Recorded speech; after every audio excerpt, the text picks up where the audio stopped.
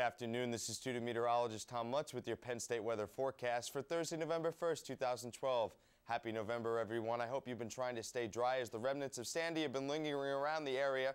Still some below average temperatures outside, but over the weekend the sun will be returning, but sadly those temperatures will not be rebounding back to average, and I will explain that in just a moment. Taking a look outside right now, overcast skies, pretty cloudy out there. Temperature of 41. It's not as cool as it was yesterday, but the wind that's blowing right now might make it feel a little bit colder with the wind chill outside. The temperatures across the state are pretty uniform no matter where you go.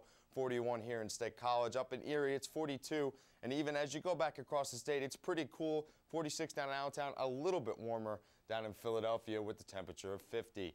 Now, as I said before, Hurricane Sandy made its way up the coast with a counterclockwise flow. It's currently in this position right here, and that's what's bringing that westerly wind coming into the area. Now, as we go into the weekend, it will be making its way off to the northeast, and the, the flow of the wind will be coming in from the south. Now, normally, that would bring us some warmer temperatures, but since the temperatures down in the south are so cool, it's just going to be bringing us more of the same weather we have been seeing for the past couple of days. Taking a look at the national radar, the rain and some mixed precipitation throughout the state. And I'm going to zoom in here a little bit closer to home. Again, just some rain, some showers, and some mixed precipitation in the higher elevations. Here in State College, we might see a little bit of mixed precipitation over the next few days. Now for the temperatures for today and the weather, it's 46 in State College, a little bit warmer up in Erie, 52 with some showers hanging around from Sandy.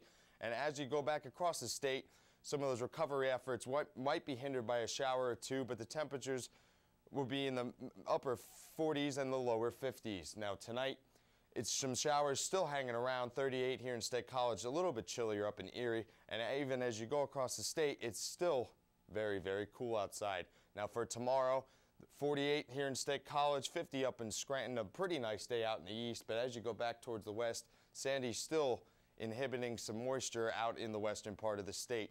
Now, as you go into your five day Thursday, the remnants of Sandy will be making their way out. On Friday and Saturday, some peeks of sun and some on and off showers with temperatures in the upper 40s. On Sunday will be the real nice day throughout the week. And as you go into the work week, some partly sunny skies and some temperatures in the mid 40s. I, this has been student meteorologist Tom Lutz with your Penn State Campus Weather Service forecast. Make it a great day.